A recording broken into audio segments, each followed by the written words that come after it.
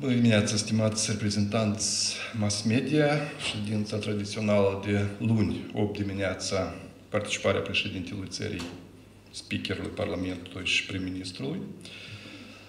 Subiectele principale discutate țin în special de agenda pentru această săptămână, agenda importantă din punct de vedere al a, documentelor bugetar-fiscale.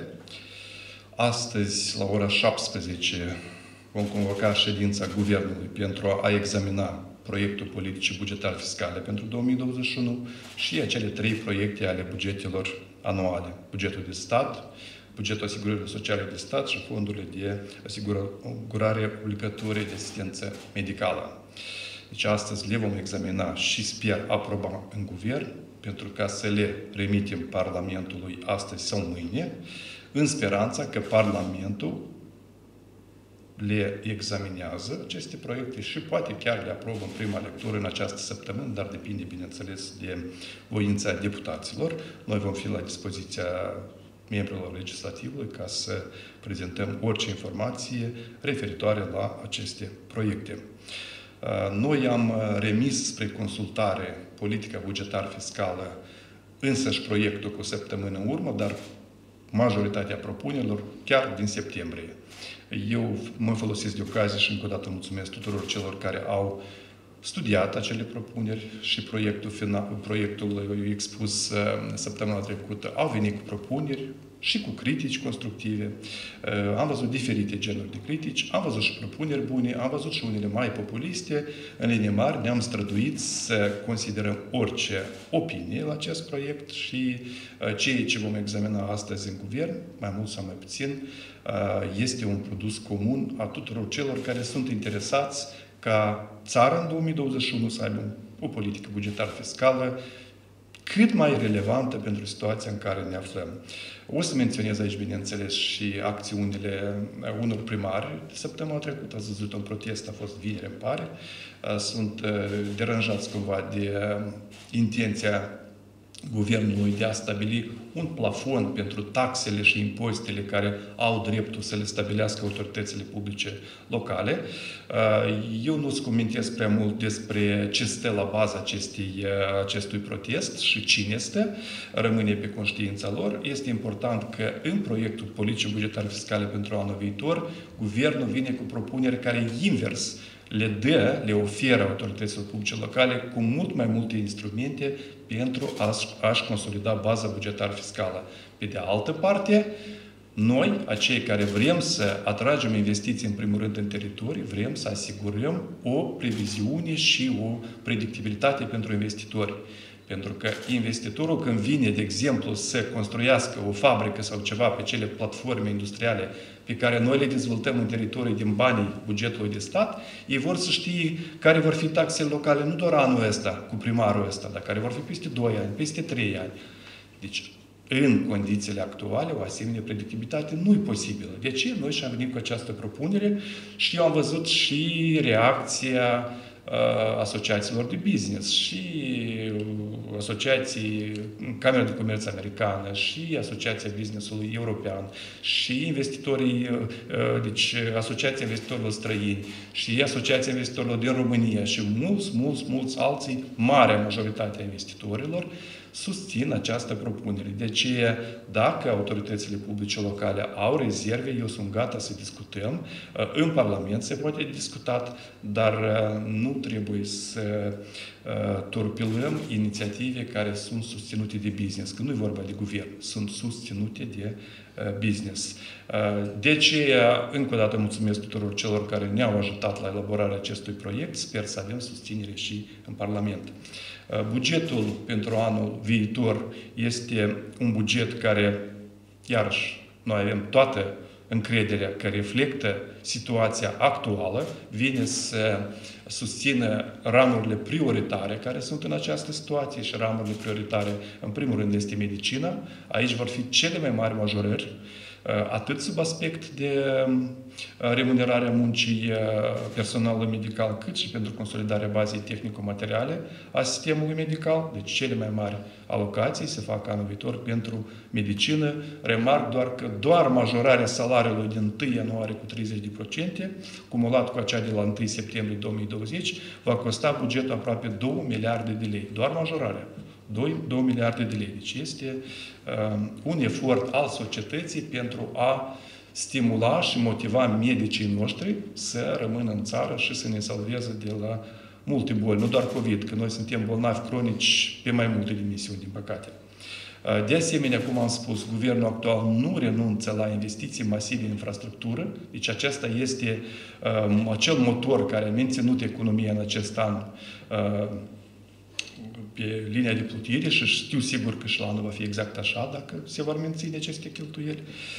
Și eu cred că acest buget care vine și cu majorări de salarii apropo și pentru alte sectoare, alte categorii de personal din sectorul bugetar trebuie susținut. Dar va rămâne deja la discreția Parlamentului, o vor susține sau nu.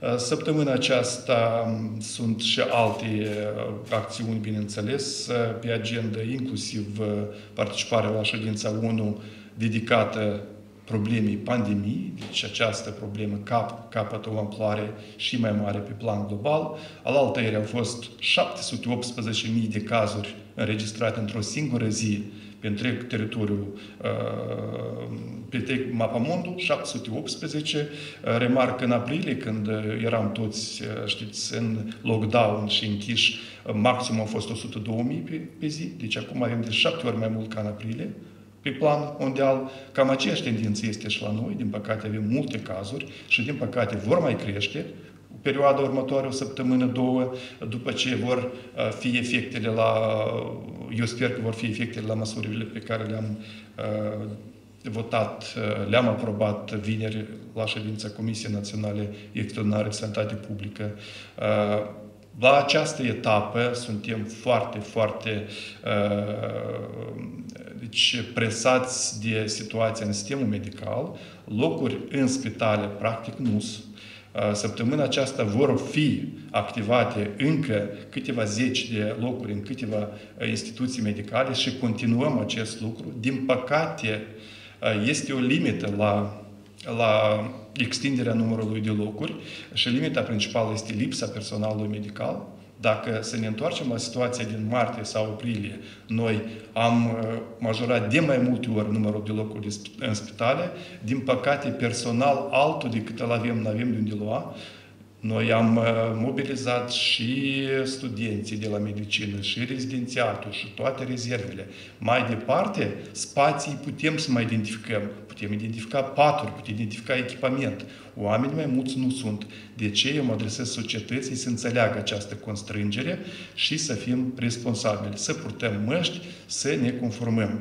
După ce vineri am aprobat acele restricții care eu le consider raționale la etapa actuală, deci ele nu restricționează totalmente activitatea economică, dar pun niște limite, mă refer și la activitatea Horeca, uh, care pe uh, timp de noapte este restricționat graficul și alte acțiuni de divertisment. Eu cred că este uh, abordabil și afordabil această, aceste restricții, se poate de făcut așa încât să nu, nu fie afectată activitatea economică. Regret foarte mult, cel mai mult refer, regret pentru activitățile concertistice, culturale și teatrale. Înțeleg și indignarea oamenilor de cultură, am văzut mai multe reacții. Eu o să vă spun foarte sincer, eu vreau foarte mult și sper și mă rog Domnului ca toți oamenii de cultură, artiștii, să supraviețuiască această perioadă uh, știu că este lovitură economică, uh, acei angajați, acei oameni ai culturii care lucrează în structurile statului vor continua să primească salarii indiferent dacă dau spectacole sau nu, noi o să susținem, o să susținem și pe cei care uh, Uh, au avut relații cu statul, au avut relații cu bugetul, nu s-au, uh, am în vedere cei care practică activitate, zicem, artistică liberă, da? Uh, fie au cumpărat patente sau altceva, o să-i susținem. O să încercăm să-i susținem și pe cei care atunci când le e bine au uitat de stat, nu se gândeau, ziceau, dar ce-mi dă mie statul?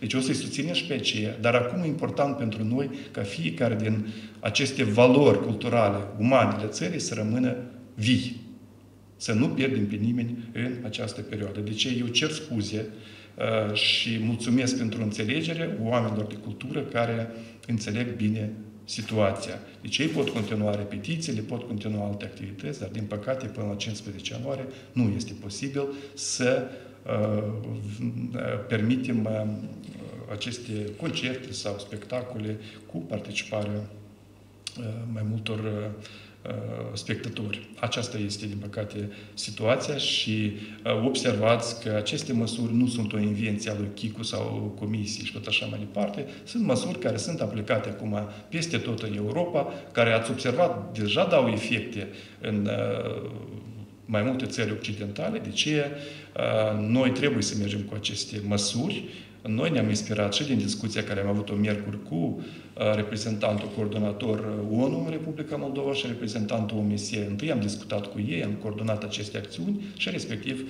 am venit cu implementarea. Rog foarte mult cetățenii să manifeste înțelegere și să aibă grijă de sănătatea lor. Repet încă o dată, capacitățile sistemului medical sunt la limită sunt la limită și posibilități de extindere nu mai avem.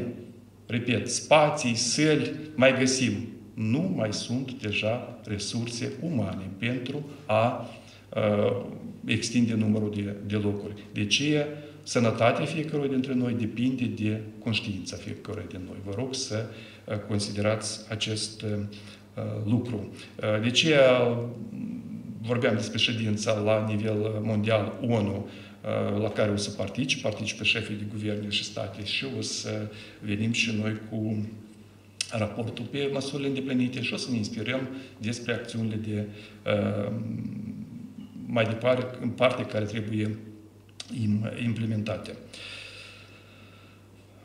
Cam astea au fost ce am vrut să vă comunic la această etapă. Repet încă o dată, săptămâna este foarte importantă din punct de vedere bugetar fiscal pentru anul viitor. Sper că uh, iarăși guvernul va avea susținere în Parlament, astfel încât anul 2021 țara să înceapă cu buget uh, aprobat. Uh, poate eu, fiindcă suntem în 30 noiembrie, o succintă informație despre starea bugetului pentru anul 2020, Uh, informația concretă o să o prezentăm mâine, pentru că o să avem datele și pe ultima zi din luna noiembrie, dar din ceea ce vedem acum vreau să vă spun că toate angajamentele bugetului au fost uh, onorate în luna noiembrie, s-au achitat toate salariile, pensiile, s-au achitat uh, serviciile și mărfurile livrate sectorului bugetar, nu sunt arierate, plus la toate din informația pe care o avem, la venituri din taxe și impozite în noiembrie 2021 față de noiembrie 2020,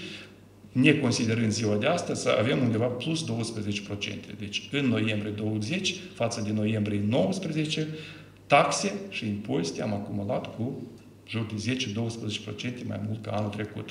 Despre ce vorbește asta, nu o să deschid parantezele, cred că fiecare care are minimă capacitate analitică poate să și facă concluziile. Acestea fiind spus, rog încă o dată toți să respecte aceste reguli antiepidemice, să aibă grijă de sănătatea lor, asta e cel mai important acum, și o săptămână frumoasă tuturor.